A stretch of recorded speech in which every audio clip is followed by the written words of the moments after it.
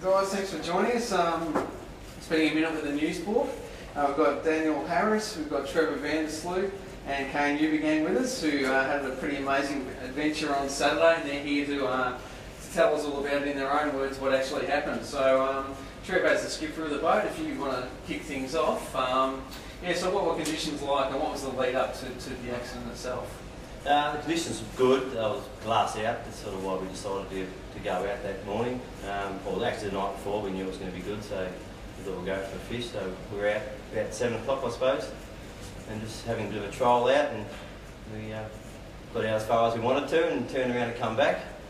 And um, I thought I saw a bit of a bombing under us, so uh, I went to turn around to go and uh, have a look at the bombing, and I, I looked back, and the, the boat was starting to fill up with water. Right. And um, yeah, after that, it's still a bit of a blur actually. But, Yeah, um, okay. Guys, what do you remember of the of the uh, the incident? I I remember looking up and only seeing Daniel, but thinking, oh know where's Trev? So I jumped back underwater to have a look, but by the time I come back up, Trev was up and, and I started hurling a bit of abuse, what have you done? And then calmed down and realised it's a long way home. How, how far was it in your estimates, Daniel? Oh, as far as Wentworth is, I suppose. Yeah. About five k out or something like that. Yeah. Yeah, okay. Um, so uh, you had life jackets on, on board. Yeah, we had we had life jackets on board. We had one out. The others were stuffed underneath the bow of the boat, so we couldn't try to reef them out, but we couldn't get them out. And how quickly did the uh, how quickly did it take the boat to sink? Straight away. Really? Yeah, as soon as we come out of the water, it was down, it was under. Oh, okay. So just the nose floating. Um, so at what stage, uh, once you, uh, you were in the water, had some uh, some flotation, I believe a bucket you were clinging onto as well.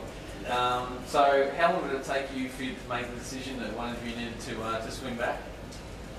Probably about half an hour. We said we'll stick together and, and try to fight it out together, but we realised we weren't going anywhere. Trevor and myself were on a life jacket and we weren't going real quick. And uh, Digger over there was on the bucket and he seemed to be moving a bit quicker than us. So we sort of made the call there and then. One of us had to bite the bullet and go. And how was that? How was that decision once you'd made that? How were you feeling once that decision was made that you were the, the one to uh, to head back? Oh, yeah, don't worry. I just yeah, concentrate on getting ashore, getting some out for these boys. And did you see any um, any boats passing by while we were waiting? we could we could hear a few, Yeah. um, but we couldn't actually see them. We were sort of waving hats and stuff like that. Oh, who knows how far away they were going on sound and.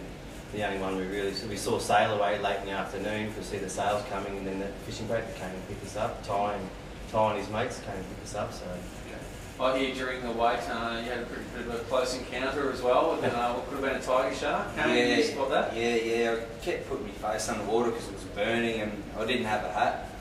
Go to the old mate over here looking after Trev. And um, yeah, just kept uh, wetting my face, looking under, and 'cause I was a bit scared as well, seeing if there was anything under there. And yeah, big tiger shark was just just cruised on by, just swam underneath us. And how big do you estimate it? Probably four or five metres. It's fairly big, so That's incredible. yeah, just finally gave up then. Just Yeah. started making jokes with Trev. We started just joking about dying and yeah, just stupid stuff. We just thought it was over. throwing rocks. Yeah.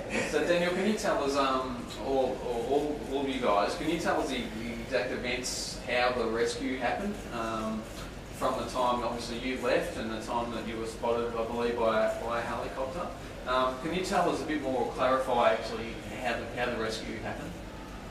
Well, yeah, I got pulled out by the lifesaver about 50 metres out from, from Four Mile and um, ran up and uh, rang the cops and they came down and um, he sort of, he organised for helicopters and seaplanes to come over.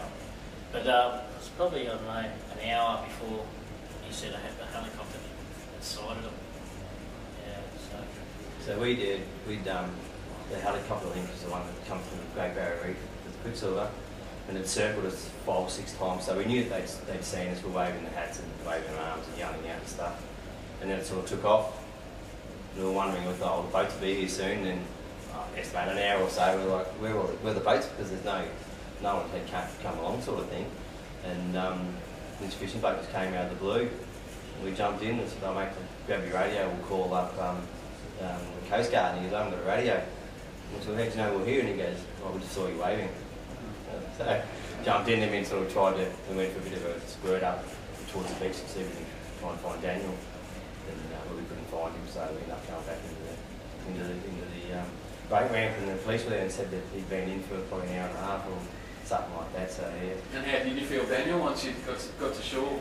Were you, you would have been quite concerned, I was obviously. pretty worried about the boys still being out there, yeah. Um, yeah, very worried. It's funny they worry about, a little worried about how he was going. We didn't know he, if he was out there or, you know, sort of, we try not to think about it, but Or you whether can't help it, you know. a stinger or a croc or a shark. Mm. Yeah, Everything was going through our head like that. Yeah, no, then had plenty of time to think about it. So Yeah, it we was, did. Yeah, Was it yeah. about six hours from start to finish? The Oh, experience? about seven, bit over seven for Trevor and myself, and I think about six for Daniel. Mm. I think it's probably about nine. We don't, we don't even know what time we went in. About nine-ish, I suppose, and then I think it was about three thirty. A Bit after four, It was a bit after four. We ended up getting back to boat ramp, so yeah, Okay. thereabouts anyway. So, any uh, fishing trips planned from here on in?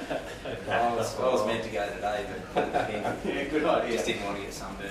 Well, guys, thank you again for spending a minute with the Newsport. It's greatly appreciated. Thank you. Thank you. Thank you.